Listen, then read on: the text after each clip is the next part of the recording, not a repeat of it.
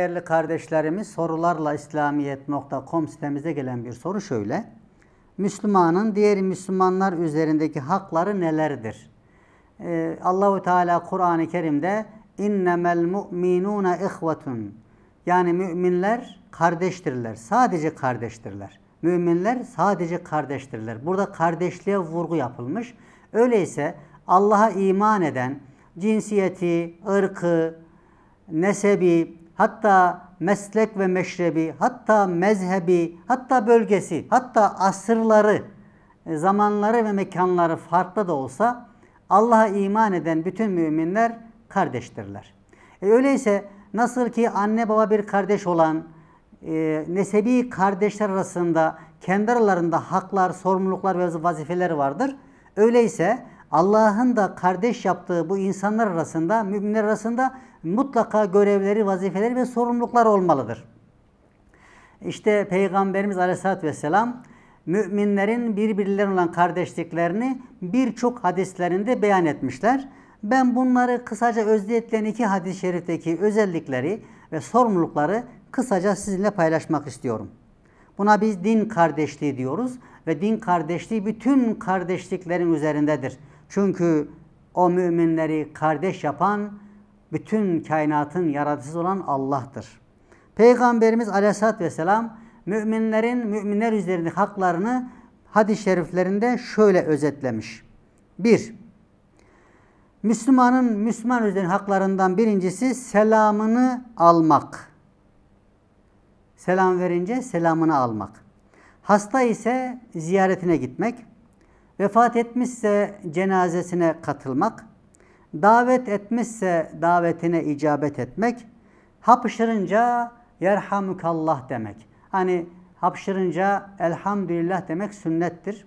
Hapşırmış ve elhamdülillah demiş bir kardeşimize diğer müminlerin yerhamukallah Allah sana merhamet eylesin, rahmetiyle muamele buyursun diye dua etmek müminin mümin üzerindeki haklarındandır. Hatta e, Peygamber Aleyhisselam'ın bununla ilgili tekrar hapşıranın yehdina ve yetikumullah yani bizi de sizi de Allah hidayete doğru yola ulaştırsın diye tekrar dua ile karşılık vermesi Peygamberimizin tavsiyelerindendir. Şimdi Peygamberimiz Aleyhisselatü Vesselam'ın konuyla ilgili biraz uzunca ama iç dünyamıza hitap eden bazı sorumluluklarımızı sıraladığı bir hadisi sizinle paylaşmak istiyorum. Gerçekten bu hadis-i şerife bütün asırlarda bütün müminler muhtaçtır. Ama özellikle bu asırdaki mümin kardeşlerimizin ne kadar muhtaç olduğunu hadis-i şerifi okuyunca daha net anlayacağız. Bir, biri birinizle hasetleşmeyiniz. Hepimiz kendi iç dünyamızı acaba dünyada herhangi bir mümin kardeşime kim olursa olsun bu. Aramda problem var yok.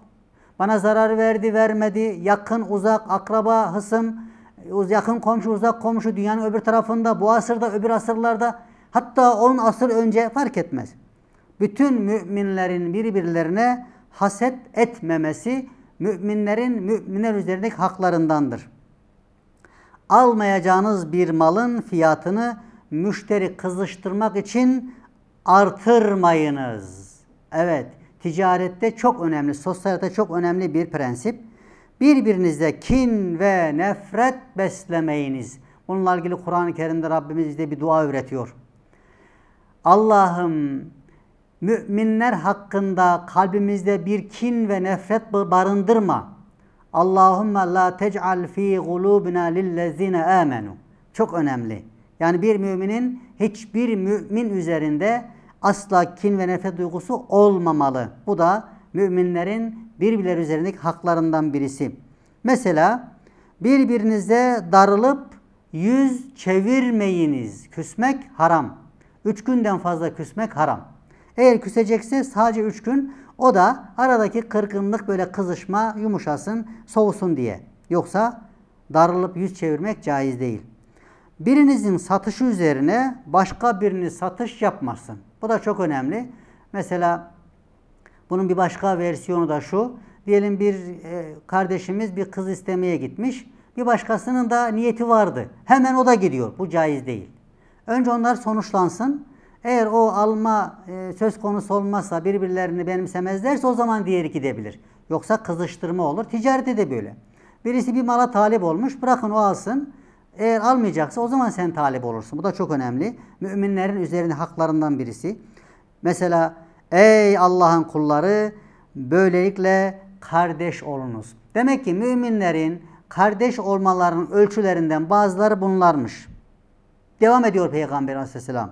Müslüman, Müslümanın kardeşidir. Ona zulüm ve haksızlık yapmaz. Bu da bir hak. Yardımını kesmez. Bakın günümüzde çok önemli bir prensip bu.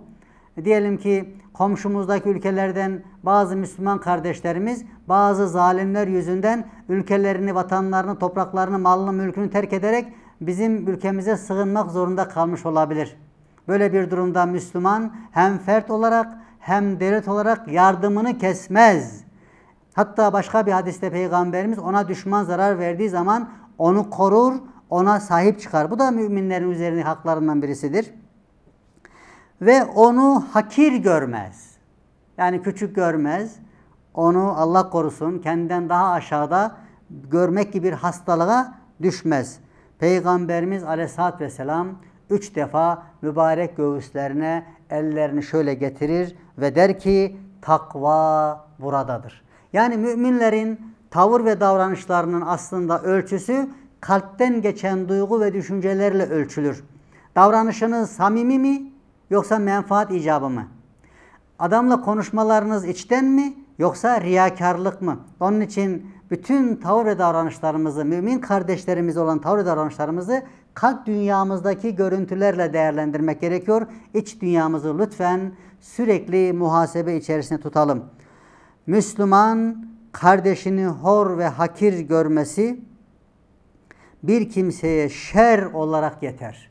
Yani günah olarak, hata olarak, e, kötülük olarak bir mümin bir mümini kötü görmüşse, hakir görmüşse daha ondan da, da ne bir günah arasını daha ne hatası arasın. Yani Allahu Teala bir mümini hakir görmeyi günahların büyüklerinden sayıyor bu hadis-i şerife göre. Her Müslümanın kanı, malı ve ırzı başka Müslümana haramdır. Demek ki bir mümin bir başka mümine zarar veremez. Neyine? Canına, malına ve namusuna zarar veremez. Bu da müminlerin, müminler üzerinin haklarındandır.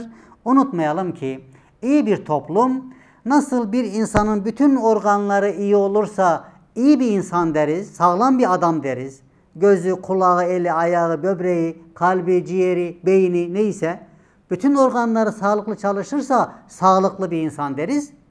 Öyleyse toplumun da bütün müminleri, bütün inananları iyi olmalı ki o topluma sağlıklı bir toplum, iyi bir toplum ve huzurlu bir toplum diyelim. Bunun birincisi benden başlar. Ben nefsimden başlayacağım. Herkes kendi nefsinden başlayarak ilk adım atmalı ve huzurlu topluma ulaşmalıyız. Eğer Müslümanlar bugün arzuladıkları toplum bulamıyorlarsa, saadet ve mutluluğu elde edemiyorlarsa sebebini kendinde aramalı. Başkasına atarak e, kendi sorumluluğundan kurtulamaz.